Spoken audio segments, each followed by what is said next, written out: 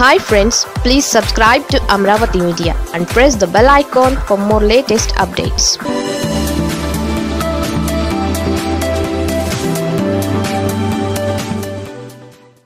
ప్రతిపక్షాల క్రొత్త పంచాయతీ అమలు చేయడం నిమ్మగడ్డకు సాధ్యమేనా? ఆంధ్రప్రదేశ్లో పంచాయతీ ఎన్నికల హడావిడి జోరుగా సాగుతోంది. రాష్ట్రంలోని ప్రధాన రాజకీయ పార్టీలు తమ అభ్యర్థులను బరిలో దించేందుకు వ్యూహాలు రచిస్తున్నాయి. అధికార వైఎస్ఆర్ కాంగ్రెస్ పార్టీ మాత్రం ఏకగ్రీవలపై దృష్టి పెట్టింది.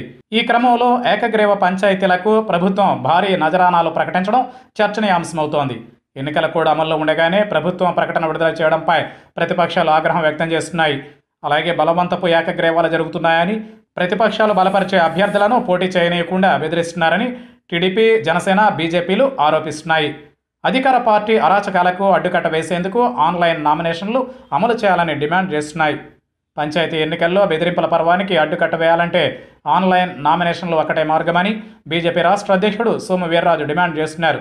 రాష్ట్రంలోని చాలా ప్రాంతాల్లో ఏకగ్రీవాల పేరుతో ప్రతిపక్ష అభ్యర్థులను అధికార పార్టీ భయభ్రాంతులకు గురి చేస్తోందని ఆరోపించారు. అధికార పార్టీ దాడులను అరికట్టాలని ఎస్సీసీని కోరారు. గత ఏడాది స్థానిక సంస్థల ఎన్నికల సందర్భంగా చోటు చేసుకున్న ఘటనలను పునరావృతం కాకుండా ఉంటే ఆన్లైన్ నామినేషన్ ఒకటే మార్గమని అలాగే అభ్యర్థులు ధైర్యంగా నామినేషన్ వేసుకునే వెసులుబాటు ఉంటుందని అన్నారు. ఇక కలెక్టర్లు ఉన్నతాధికారులతో వీడియో కాన్ఫరెన్స్ నిర్వహించిన ఎస్సీసీ నిమ్మగడ్డ రమేష్ కుమార్ ఏకగ్రీవాలపైన దృష్టి పెట్టాలని స్పష్టమైన ఆదేశాలు ఇచ్చారు. బలవంతపు ఏకగ్రీవాలు ఎక్కడ జరిగినా అడ్డుకోవాలని అన్నారు. తమ ప్రాధాన్యం ఎన్నికలు నిర్వహించడమేనని అన్నారు. గతంలో జరిగిన ఘటనలు పునరావృతం కాకుండా చూడాలన్నారు.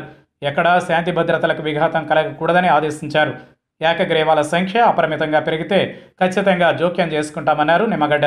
ప్రధాన ప్రతిపక్షం టీడీపీ కూడా వైసీపీ బలవంతపు ఏకగ్రీవాలకు ప్రయత్నిస్తోందని ఎస్సీసీ జోక్యం చేసుకోవాలని డిమాండ్ చేస్తోంది. ప్రతిపక్షాల నుంచి డిమాండ్లు వస్తున్న నేపథ్యంలో ఎస్సీసీ నిమ్మగడ రమేష్ కుమార్ తీసుకుపోయే నిర్ణయంపై సర్వత్రా ఆసక్తి నెలకొంది. అయితే నామినేషన్ ప్రక్రియకు పెద్దగా సమయం లేకపోవడం గతంలో అలాంటి సాంప్రదాయం లేకపోవడంతో మార్పులు జరిగే అవకాశం లేదని రాజకీయ వర్గాలు అంటున్నాయి. ఒకవేళ ఆన్లైన్ నామినేషన్లు స్వీకరించాలని భావించినా అది ఇప్పటికిప్పుడు సాధ్యమయ్యే అవకాశం లేదు.